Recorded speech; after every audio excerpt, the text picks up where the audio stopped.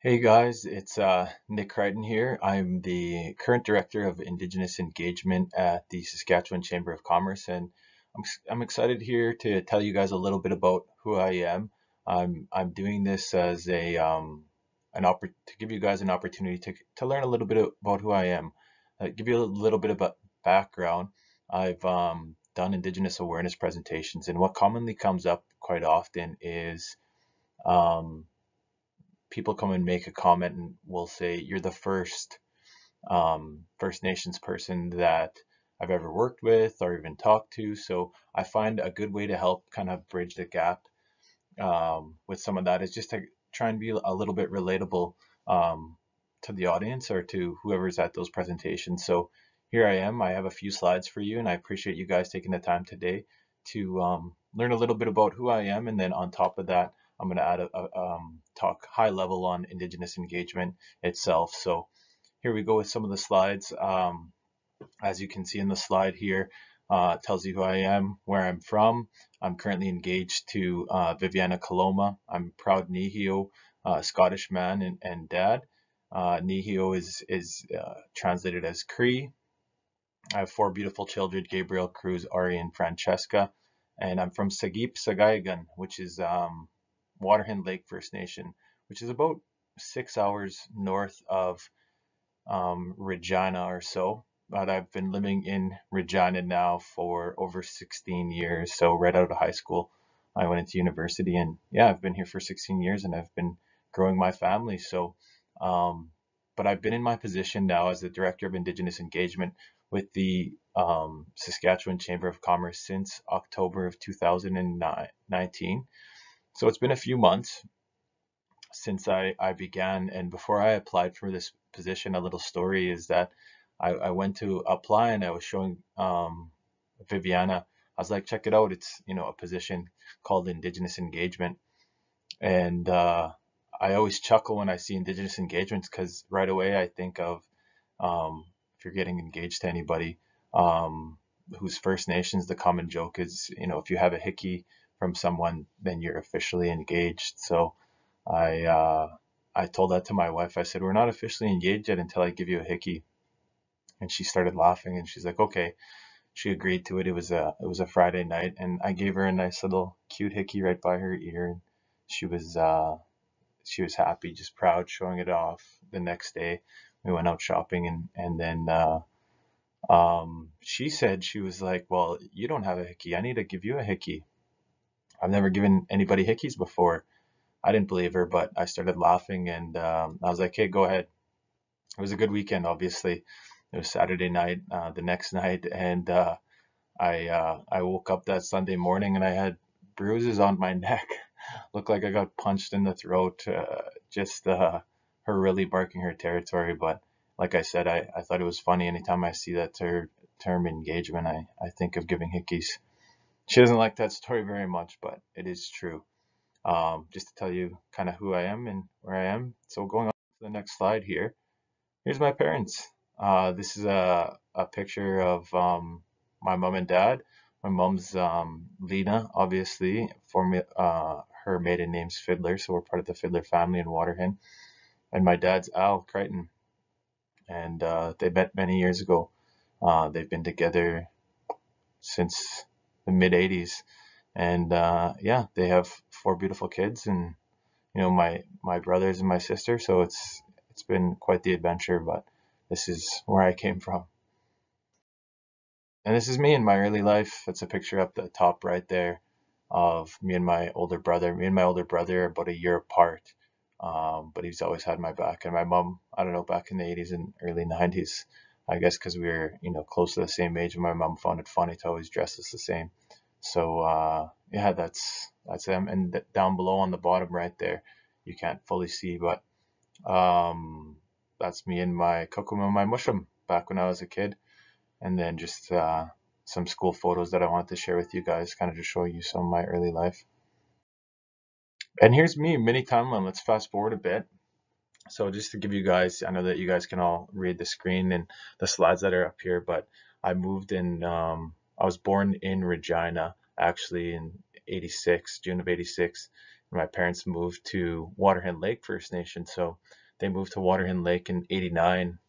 Um, I was three years old or two and a half years old or something from what my, my parents tell me, and I, I lived in and grew up in Waterhen until about grade six. I moved to Meadow Lake. My both my parents found um, positions in Meadow Lake, which is about 45 minutes away from Waterhen Lake First Nation. Uh, fast forward to about 15, I had my first real girlfriend. Um, that was my my first long time long term relationship. That relationship um, went on for about close to 10 years. I graduated high school at Carpenter High School in June 2004. And uh, that same year in September, I went on to um, begin my university studies at the University of Regina. Um, shortly after I, uh, you know, right before I graduated university in October, I got married August of 2009 and then from there, um, I found my first official job in September of 2009. I worked at the Ranch Ehrlo Society, and I was there. That was my first job out of university. Um, the Ranch Ehrlo Society, I had no idea what they were or what they were about, but I was their cultural coordinator there, and uh, actually thought it was a ranch. So I thought, you know, I have some experience, a little bit of experience as a kid working with my moshum, my my grandpa, um, on his uh, in his pasture in his ranch at in Waterhen. So, but it wasn't anything uh, like that, obviously. Um, if you're familiar with the Ranch Ehrlo Society, they're a youth uh, treatment center for vulnerable youth. So it was a really cool opportunity. It gave me a lot of perspective, gave me a lot of um, lifelong friends and, and good lessons as I was there for four and a half years.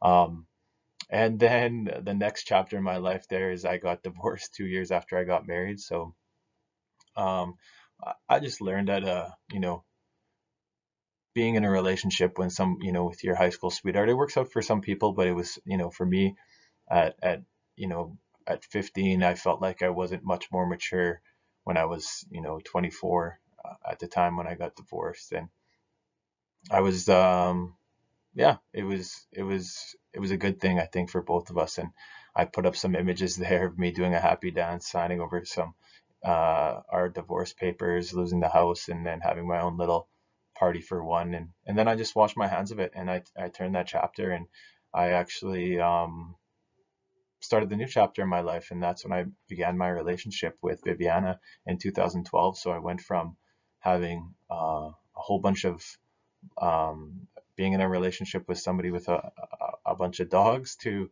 all of a sudden I became an uh, instant stepdad uh, and it was the best decision I've ever made. And yeah, I I'll, I'll show you on the next slide just a little bit about them.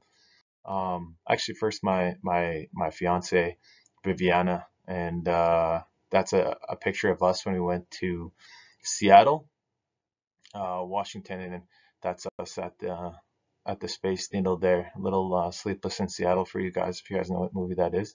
And then a, a picture of of of and my fiance Viviana and you guys can see a word there. We call her in Cree. It's called my Nitsamu, so that means my sweetheart. Here's our kids.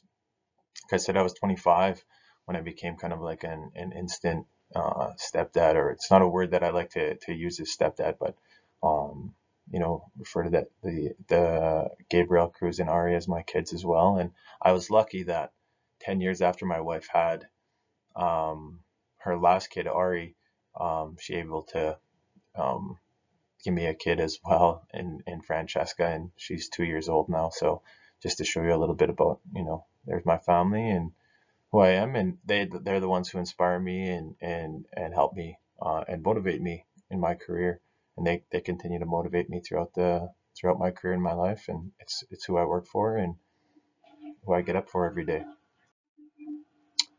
Um, before we oh no, this is now my work experience. So, uh, well, when we're to talk about my work experience and why this is important and what's been a, a motivator for me, and I kind of grew up in a, I grew up poor, but not in the sense that I had a lot of opportunities. So I still had opportunities to, you know, growing up playing hockey, playing soccer.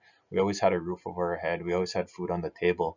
But I also knew at a young age, um, you know, I was 15, that if I wanted to have extra money, and that was my motivator, um, I needed to work.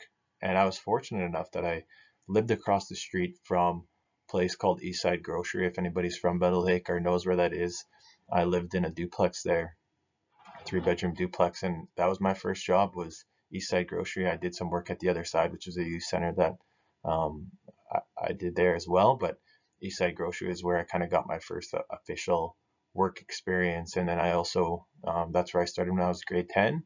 And then in, in grade 11, I also worked at Dynasty Twin Cinemas. As I was going to school, playing hockey, um, um, I split my time at Eastside Grocery and Dynasty Twin Cinemas. And then I moved on to um, summer jobs and, and jobs at uh, Meadow Lake School Division. Uh, my first job, uh, my first summer job after university was at the Meadow Lake Tribal Council. I, that was a, a, good summer job there. I Actually, um, had some really cool experiences there traveling and then while I was at the U of R, I, I spent some time working at the U of R while I was a student as well. I worked at Shoppers Drug Mart. Um, one of my other jobs at my second year university as well, I worked at uh, Wakelam and Sons. It's this um, landscaping place. I'm, I'm sure it's still around, and that's where I had an opportunity to um, work outside. I, I'm definitely not somebody who who does a lot of work, let's say, with my hands outside. Um, but I learned a lot. Learned about paving stones and how to cut brick and and laying sod. So it was a really cool summer job. And then um, I spent after that summer, I spent um, uh, at the Workers' Compensation Board. The following three summers, while I was in university, I was uh, had the opportunity to work at the Workers' Compensation Board at, at WCB, and they paid me well, and uh, I had a cool job in prevention. Uh, a part of what I did while I was there um, was I was the a handler. Each each mascot or was a mascot at Workers' Compensation Board at Work, WorkSafe Saskatchewan. His name was WorkSafe Bob, um, and he went to the Rider Games and uh, he did a performance called like the fourth quarter stretch. I don't believe they he he does it anymore. That the they do it anymore. But I, I was a handler, so I was the security guard for the mascot on the field and had an opportunity to go to all the Rider games for three summers straight. So it was a it was a it was a cool summer job.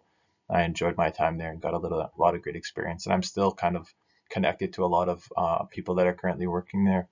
Um, and then after my university degree, like I talked about the Ranch Ehrlo Society, I've worked in a lot of places, and uh, I stayed at the ranch, like I said, for about four years or four and a half years, and then I decided, and there was an opportunity came up at the University of Regina and while I was at the University of Regina, I was there as their um, the Aboriginal co-op coordinator, and so I spent about a because the uh, at the time the university population or the indigenous population of students at the university enrolled there was probably about 1200 to you know 1400 or so students.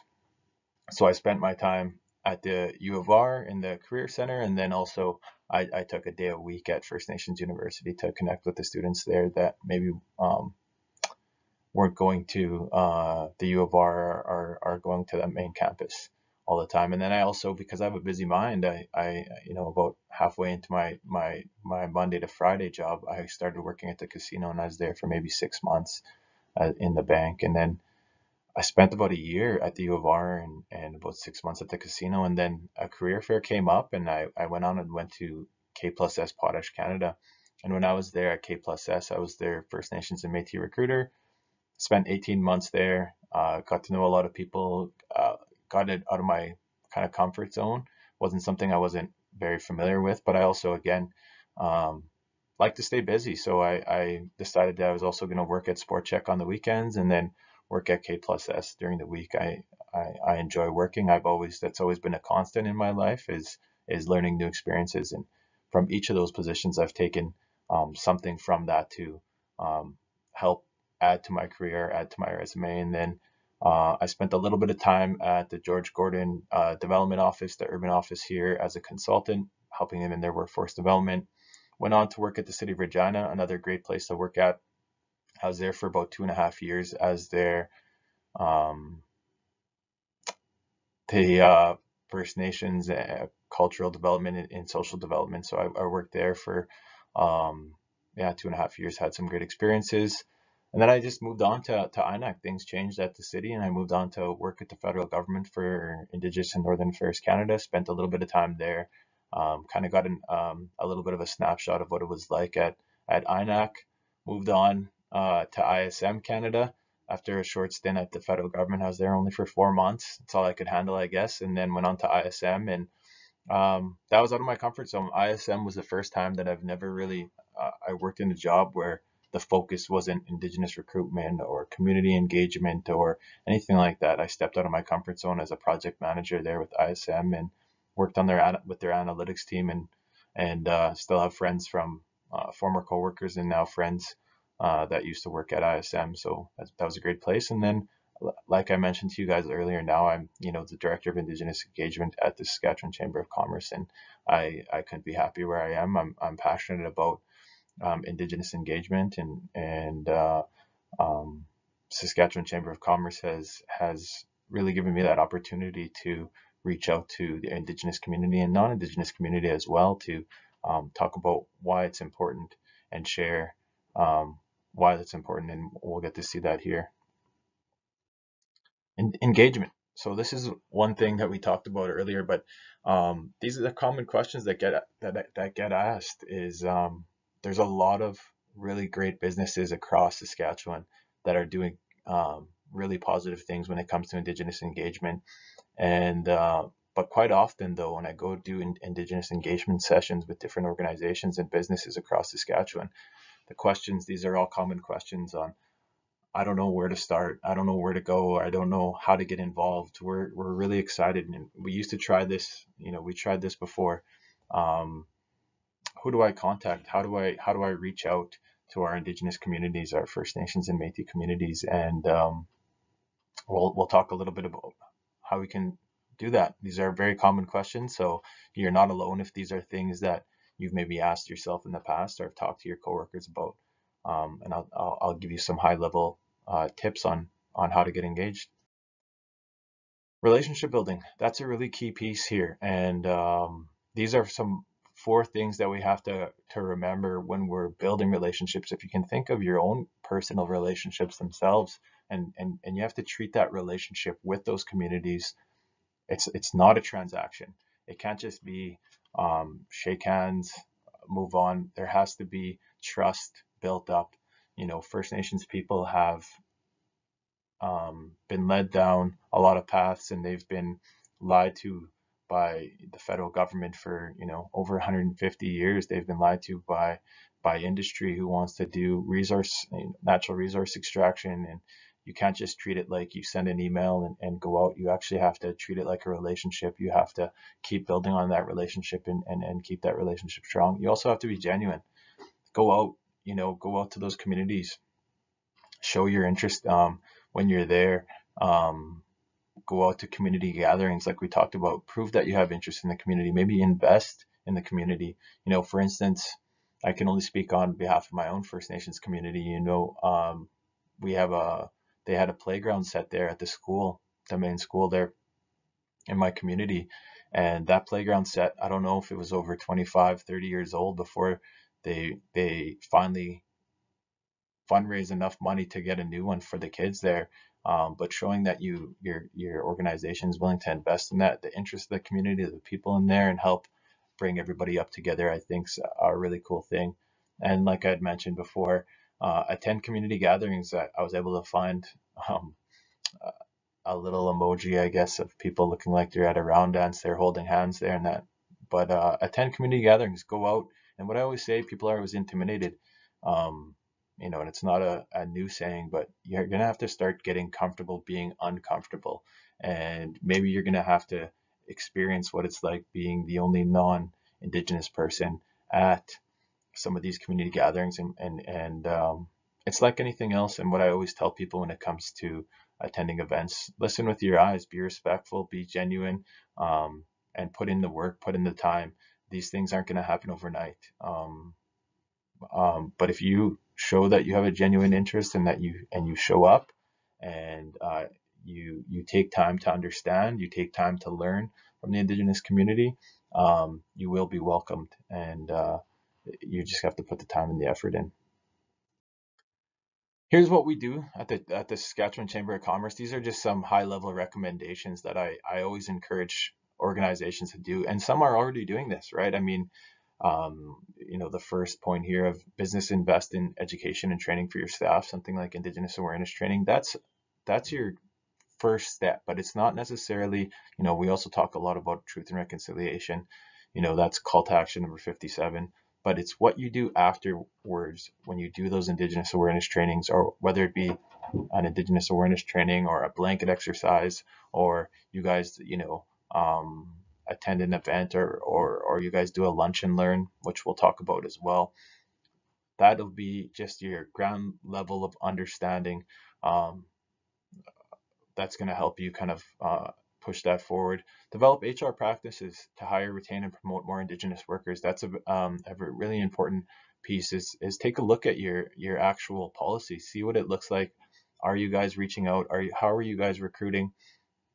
How are you guys retaining these employees? You know, I always tell people, recruitment's easy. The recruitment part uh, is the the easy part. It's retaining employees and and how's your organizational culture set up to ensure that there's success for your Indigenous workers um, and their support systems in place. Um, implement procurement practices. That's a huge thing. Indigenous business owners in Saskatchewan are booming and growing every day. So take a look at procurement practices. Consider rewarding Indigenous owned businesses. Here at the Saskatchewan Chamber of Commerce, we're looking to build on you know what a lot of organizations are doing and, and using some of their business directories and we're going to be creating our own here uh, in the very near future. So look out for that. You can uh, visit our website at the Saskatchewan Chamber of Commerce and and see some of that um, community. We talked about that earlier. Investing and reinforcing those relationships to support Indigenous communities. Um, quite often, um, First Nations people or First Nations communities and our Métis communities as well are are are overlooked so make that effort to go out there and, and support those those communities and create an employee mentorship program. I really think that's important. Um, I was telling you guys, I worked at the Ranch Ehrlo Society. My first job out of university, I was young. I was 22, 22 years old, and it was my very first job. And um, I remember uh, after my first probably three days of work, I wanted to quit. And the reason I wanted to quit was because I didn't feel as welcome there. An example is I walked into the, the lunchroom and uh, usually after after lunch between you know 1 and 1.30 that's when uh, the teachers will come down and you know I joined them and there wasn't a room around the table and I didn't feel like I was being welcomed at that time and it wasn't until a coworker of mine I think on my third day uh, came in and finally invited me in, I, I felt a little bit more welcome. And I ended up um, making lifelong friends from there and uh, um, learning a lot. Uh, my first job at university there, and and uh, but it wasn't until that that that person you know came on my third day and invited me to have lunch with the the whole team that I felt more welcome and I felt more comfortable. So I would really encourage organizations to have an employee mentorship program. And it's kind of a playbook for most supervisors for them to, um, you know, take out the new employee for lunch. Um, but it has to go a step further than that. You know, you whatever that looks like to you guys, uh, you guys can create it um, and customize it for however it is. But that has to be an understanding amongst the team that you know there's going to be mentorship, there's going to be uh, a, a, program in place to help or um, uh, your your new employees uh, feel welcome. Where to start? Here's some examples um, that I like to show um, people. These are some very simple examples. You know, this was this presentation. I had a chance to do this presentation at um, the uh, SREDA conference in Saskatoon last month, and um, so some of these things may change. Obviously, we're in self isolation, as you can tell. I'm in my in my bedroom, but um, some things where to where to start. Participate in Orange Shirt Day. Yeah, you know September 30th. That was the day. Uh, quite often it was the last Friday of the the the, um, the end of September where um, that's when kids went to were were picked up and went to residential school. So um, and Orange Shirt Day, you can look it up, learn a little bit about um, the purpose of that and and supporting the um, the legacy of uh, residential schools. Volunteer at National Indigenous Peoples Day. It's June 21st every day every year in, in Saskatchewan. June is actually Indigenous Peoples History Month, so there's a lot of events going on in June where you can go and participate. Take your your, your staff out to even go out with your family and and, and uh, take time to learn about our beautiful, rich uh, culture that we like to celebrate. Um, volunteer uh, in, if you're in Regina. Um, volunteer at First Nations University of Canada Annual Spring Celebration Powwow. It happens every year. It is um, one of the largest, if not the largest, powwows um, across the entire world. So it's a good opportunity to see that celebration and and and um, a celebration of of powwow dancing and singing and and competition. Um, obviously, this year it's not going to work. It's it's being postponed. Um, but go on to the university uh, First Nations University of Canada website, and you'll find out more about um, when that's going to be happening. Uh, another thing that'll probably be postponed, I'm guessing, is participating in the annual Smudge Walk. I've helped out at that for a few years, and it's always a good opportunity. Quite often, we can spend our lives living in Regina and never have to walk or or, or drive through or um, see what goes on in, in North Central. But it's um, there's there's a lot of great people working and living in that community, and I was fortunate enough to work in that community at the new Mamawe Center when I worked at the city, and I got to experience, um, you know, get I got to you know work right in North Central and and and offer programs and and work with a lot of great people. And a very simple thing you can do. You know, everyone does lunch and learns. Um, all organizations kind of call it whatever you want. Um, take a look at watching something as simple as the pass system. All you got to do is Google the pass system; it'll come up. Um, it, it talks a little bit about you know there was a pass system, and what that means is that you actually had a physical pass or permit needed to leave the reserve. Um, you know, back in 1885 it was created, and I think the pass system was abolished. I think in 1951.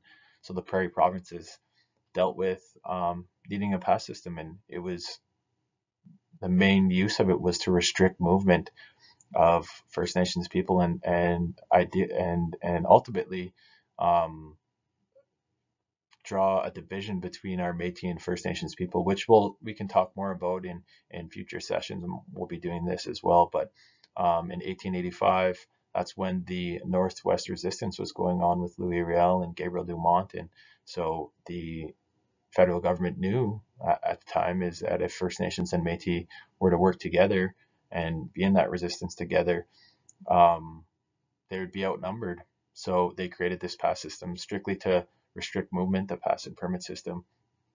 But we're going to be I'm going to be working with um, John Lagimodiere and we're going to be putting up some modules to talk a little bit about the specifics of that. But that pass system is a is a good show to watch and I highly highly recommend. Uh, APTN First Contact. It's another example of a of a show. There's so many resources um, out there. Um, that one just kind of follows the life of I think eight outspoken Canadians um, go and travel to different First Nations communities across Indigenous communities across Canada and kind of get a first world like um, uh, look at what it's actually like and and it helps dispel some myths and misconceptions and I believe they um, uh, finished up their second season of that first contact another really good show done by APTN but those are just a couple examples of of things that you can start doing in your community or, or doing in your workplace. Economics let's switch gears a bit. People talk about the why. Why is it important? Why is it important that we hire Indigenous people? Well, it makes sense. The Indigenous population is growing at a you know four or five times faster rate than the non-Indigenous population. You know, Saskatchewan itself is at 16.3% population um, Indigenous uh, Indigenous population across Saskatchewan, and uh, those numbers are continuing to increase and grow. Not only that, the the population is very young. You know, um, of those 16%, you know, a large closing in on both 30 30% or so, 30 to 35% are under 14. And so in a couple of years, they're all going to be able to um, contribute to the economy, get jobs. Uh, as the working age in, in, in Saskatchewan is 16, but um, you can show that the economic impact when Indigenous people are provided the same level of training, employment, and education as non-Indigenous people, you can see the growth. It helps everybody.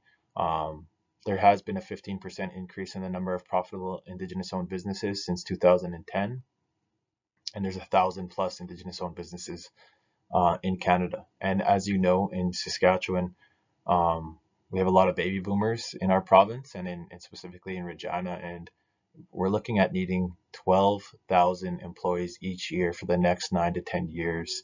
Um, so that investment in the, the, that human resource of in, the indigenous population will definitely uh, be a benefit to our communities. And there's so many studies to talk about how um, beneficial it is to have um, a more diverse workforce. And, and I'll let you guys look those up on your own. But um, the benefits of having a diverse workforce and helping dispel some myths is is is is definitely important. So, and this is a benefit for everyone. This is this is going to help everybody.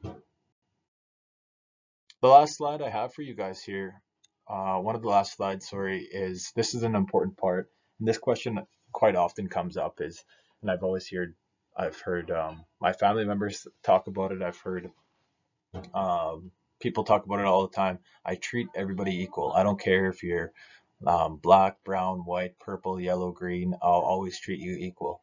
And I agree with that. Yes, everyone should be treated equally. But there's a definition on e equality, and I like this photo when I was doing this research, is that equality equals sameness, right? And equality is about sameness. It's about promoting fairness and justice by giving everyone the same thing.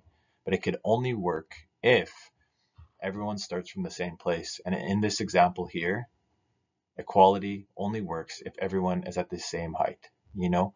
Um, and then equity, that's an important difference between equality and equity is equity is fairness. Equity is about fairness. It's about making sure people get access to the same opportunities.